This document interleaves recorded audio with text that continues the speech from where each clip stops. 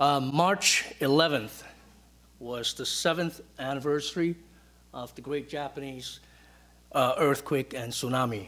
Now, in that event, 5 million tons of debris washed into the Pacific Ocean.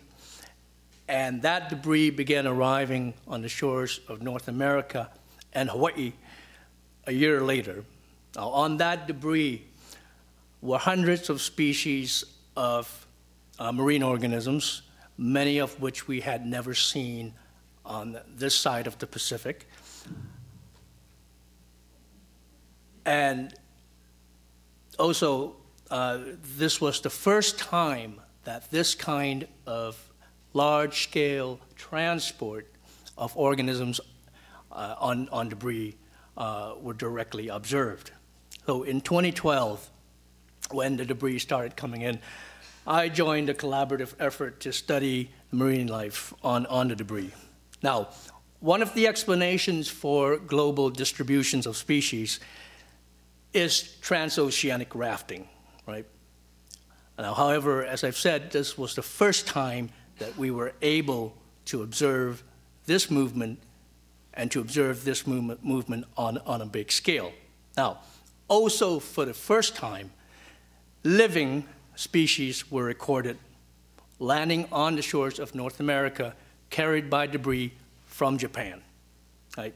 So this, this, this challenges assumptions about uh, ocean ecosystems that, the, that organisms couldn't possibly survive a trip this long uh, and hazardous. So the big question then becomes, what is the potential for colonization of these organisms um, in North America and Hawaii? Now, so this morning I will explore the role of the tsunami debris in species dispersal. How did debris travel and what did it bring? And what are the implications for invasions biology? Now, uh, before I proceed, just, just consider, consider that the fundamental, fundamental to the understanding of patterns of biogeography and ecology is taxonomic research in museums, right? So hold on to this thought, and I will get back to it at the end of my talk. Now, compared to the terrestrial environment, uh, marine systems appear to present fewer physical, uh, uh, uh fewer physical barriers to uh, biological exchange, right? And, and additionally, the transport of species by natural debris, uh, sorry, uh, excuse me, uh, by natural floating uh, materials such as uh, uh, logs or clumps of vegetation or pumice, that has been occurring for millions of years.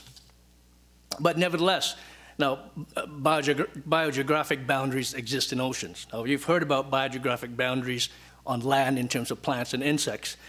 Now, in, in the ocean, for example, uh, changes in ocean circulation are often associated with very abrupt changes in temperature.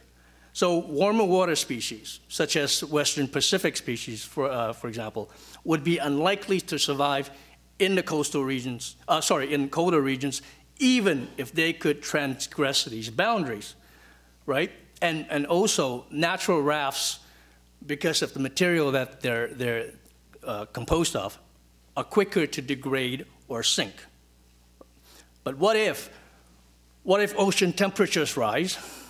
What if organisms had bigger, more permanent rafts that don't sink as easily?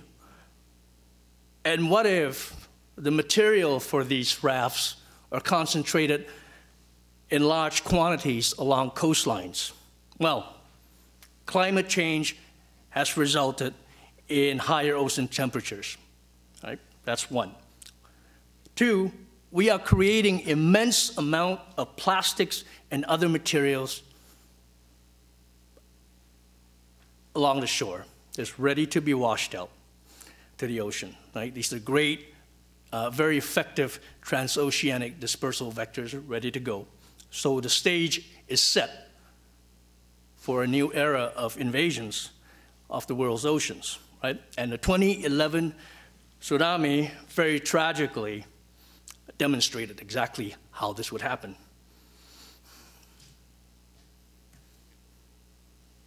Now, in, in the upper right-hand corner, you'll see the model of the tsunami debris movement. The movement of the debris continued to occur for many years after the event. So this is not a, not a straight line A to B transport, okay? And the debris landed in different locations at different times. So we have multiple trajectories over multiple years.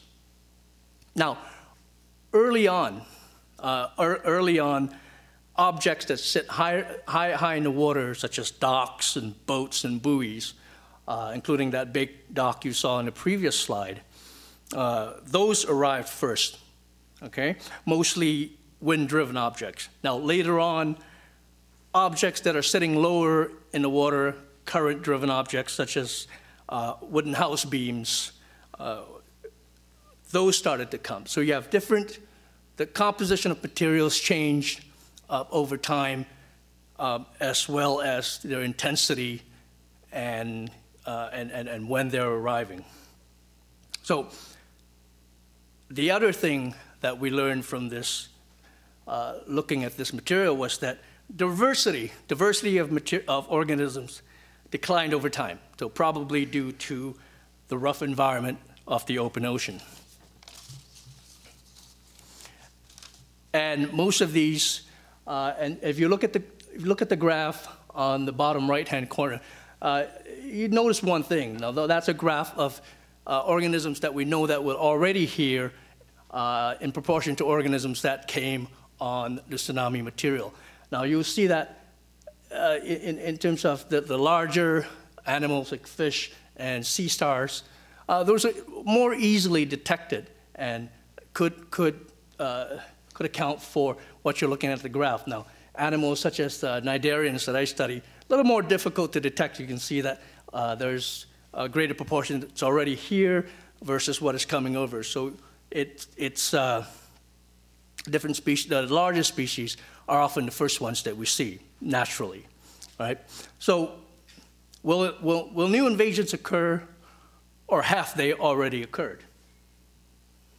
Well, the answer is yes, perhaps, perhaps. Uh, populations of non-native species may take years to grow to the point of detection. So how many of them will, will we be able to detect? Uh, so our work now is focused on answering that question, right? And, and, and sharing the data that enables us to answer this question, which brings me to uh, a very important point. Now, the, in, in terms of sharing the data, um, the, one, one of the ways that we share data is to have, uh, to, to be able to go back to look at the collections and see what they're telling us. Now, my first point about the importance of systematic research in museums and taxonomy in museums. Take a look at those numbers. In this project, we had, we had eight, 80 taxonomists from 13 countries, right? That's 80 taxonomists from 13 countries. Now then look at the distribution of these people in North America. Five. Uh, there's one in the Smithsonian, one in the Bishop Museum in Hawaii, two at the California Academy of Sciences, and one at the Royal BC Museum. So when we talk about and that, that's so it's five, five out of 80. So when we speak about the importance of taxonomic research and why we're doing it, well, the underlying basis to be able to understand uh, species distributions and to be, understand, to be able to properly account for what's happening in ecology is, first of all, you must know what they are. And that is what we do in museums. So when I look at when I look around a room and I'm hearing my colleagues talk about the work they do in taxonomy, um, that, that's very encouraging. Thank you.